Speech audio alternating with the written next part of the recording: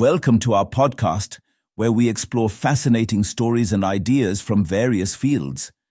In this episode, we explore why the Andromeda Galaxy has a strange shape at its center. Andromeda Galaxy is the nearest large galaxy to the Milky Way. Naturally, we have our scientific eyes in its direction. The galaxy is 2.5 million light-years away from us. There is a strange elongated cluster of stars near the center of the Andromeda Galaxy. Astronomers now know the reason behind it. Galaxies have supermassive black holes at the center. It is common for two galaxies to collide in space. In such a case, the supermassive black holes at the center of these galaxies collide as well. The black holes are first locked in a gravitational dance in which they revolve around each other.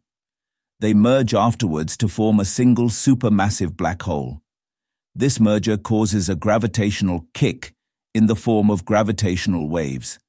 This kick is somewhat like the recoil of a gun when a bullet is fired.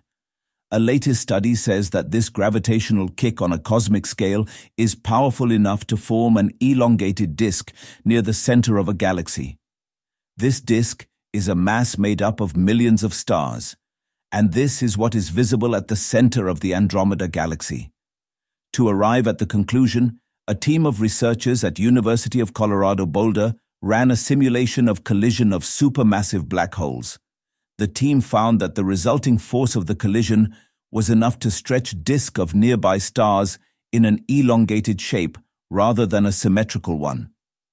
Thanks for tuning into this incredible story.